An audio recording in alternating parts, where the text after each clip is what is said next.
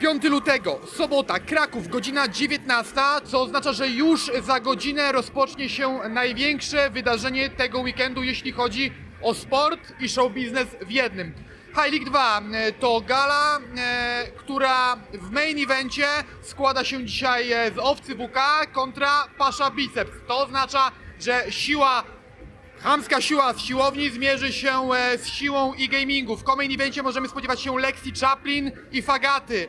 Dwie influencerki o bardzo dużych zasięgach, bo mówimy tutaj liczbach liczonych w milionach.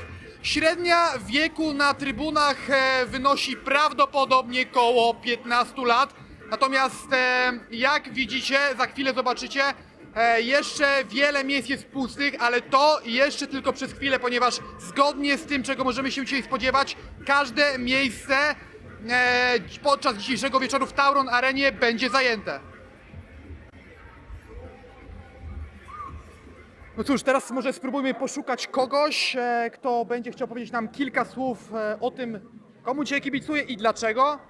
Zobaczymy, jak rozkładają się dzisiaj e, sympatie kibiców, którzy dzisiaj tłumnie zgromadzą się w Tauron Arenie. 14 koła ludzi. Lecimy. Skąd przyjechałyście? Z Gorlic. Gorlice. Tak, z Gorlice. Okej, powiedzcie mi proszę, dla kogo się tutaj dzisiaj znalazłyście, komu kibicujecie? E, Lexi kibicuje. Lexi, tak. Lexi. Myślisz, Głównie dla Lexi tak? przyjechałyśmy. a powiedz, em, czemu Lexi nie Fagata dzisiaj wygra? Nie wiem, Lexi ma większe doświadczenie, bo już walczyła raz. No tak, tak, tak. Fagata będzie się bała o swój, wiesz, twarz itp. itd. No wiemy jak jest. No, no i jednak e, Lexi jest delikatnie chyba starsza, prawda? Tak. Okej. E, Powiedzcie mi, gdzie są Gorlice? Eee, no Polsce tak na samym dole. jakby, Okej, czyli dzisiaj bezpiecznie kończycie galę i wracacie bezpiecznie do domu, tak? No niekoniecznie. Okej. Czyli jaki macie plan na dzisiejszy wieczór? Ja się okaże. Okej, w takim razie miłego wieczoru i życzę wam udanej gali. Nawzajem. Dzięki. Moi drodzy, przepraszam, mam do was jedno pytanko. Powiedzcie mi proszę, skąd przyjechaliście, komu dzisiaj kibicujecie? Starnowa. Z Tarnowa, czyli całkiem niedaleko, wydaje mi się, województwo małopolskie. Tak jest. Powiedzcie mi w takim razie, e, dla kogo tu przyjechałyście? Dla Lexi. Ja przyjechałem dla y, owcy. Okej. Czyli Pasza czy Owca? Owca. Denis czy Alan? Y, Alan.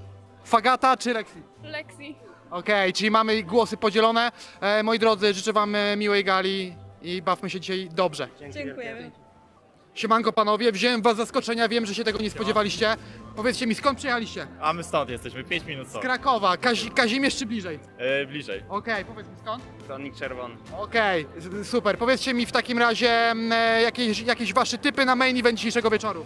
E, no my tutaj prezentujemy tylko jedną, e, jedną firmę, także jesteśmy za owcą, aczkolwiek e, walczą takie postacie, że czy wygra jeden czy drugi, myślę, że będzie w porządku i myślę, że kogo byś nie zapytał, to powie ci to samo, naprawdę spoko osobistości walczą, więc niech się dzieje, niech pokażą show, a kto wygra, że tak powiem, niech będzie na drugim planie. Okej, Denis czy Alan?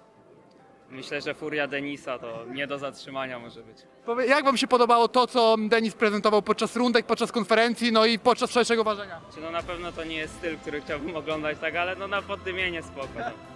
Okej, czyli ra raczej pre prezentujecie, preferujecie taką formę sportowej e, konkurencji, aniżeli hardkorowych dymów. Rozumiem, Znaczy, owca pasza. Y, Dymy też, jak najbardziej, aczkolwiek e, boję się jednej rzeczy. Y, Wokół oktagonu powinno być przynajmniej z 15 ochroniarzy, bo ja, y, moim zdaniem, jeżeli będzie, że tak powiem, gong, albo na przykład będzie jakiś knockout, to ja nie widzę opcji, że Denis przestanie bić tego Alana. Także tam po prostu powinni być w gotowości 15 typa, którzy po prostu wpadają tam i tego Denisa po prostu odprowadzają. Boję się, że właśnie, że może dojść do jakiejś po prostu krzywej akcji, y, za krzywej, ale no dymy jak najbardziej. Dobra, panowie, ostatnie pytanie. Największy zadymiarz w polskim freak fightie to Denis czy Jacek Murański? Denis. Niech zawalczą o tytuł największego poddymiacza na jednej z gal. Może Dobra. tutaj użyć fame. Dobra, czekamy na to, panowie. Dzięki, Dzięki. piąteczka. Na razie. Jak widzicie, nastroje są bardzo podzielone.